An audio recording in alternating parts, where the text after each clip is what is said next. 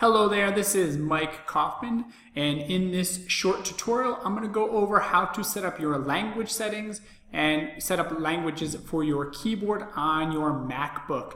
This is going to make your life a lot easier for when you're typing in Spanish that you don't have to go through many steps to switch the keyboard from an English keyboard to a Spanish keyboard, which again will make it so much easier to add in those acentos and so forth. Now, before we get into it, our fun fact is it is believed that there are 6,909 spoken languages in the world today. Ooh, that's a lot.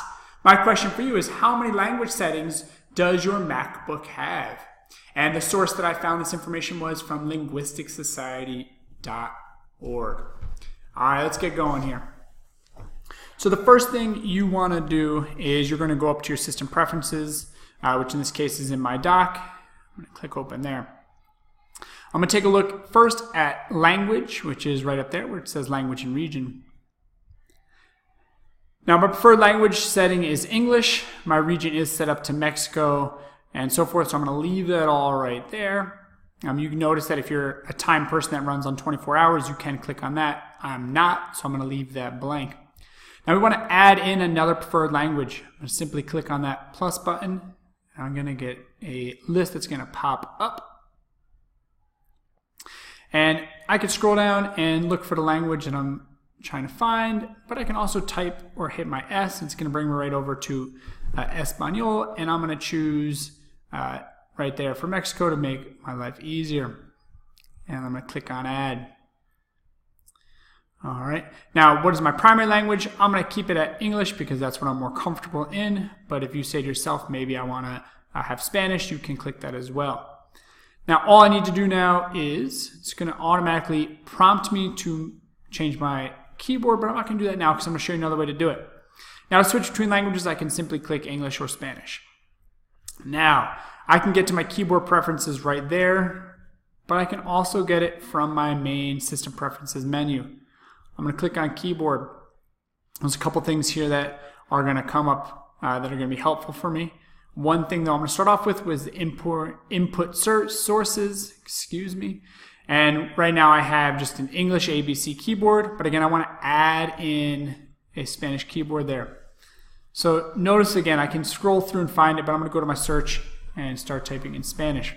I have two options here. We're going to choose the Spanish ISO. All right, and you'll notice that's what the keyboard's going to look like. And I'm going to click add.